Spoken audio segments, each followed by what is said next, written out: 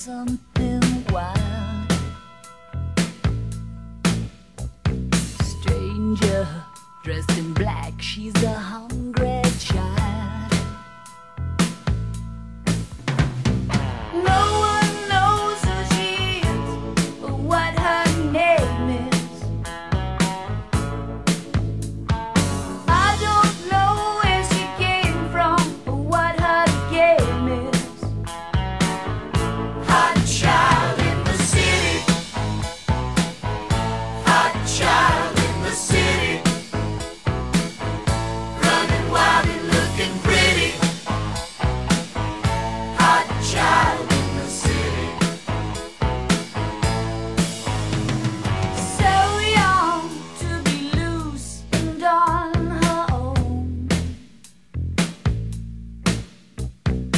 young boy.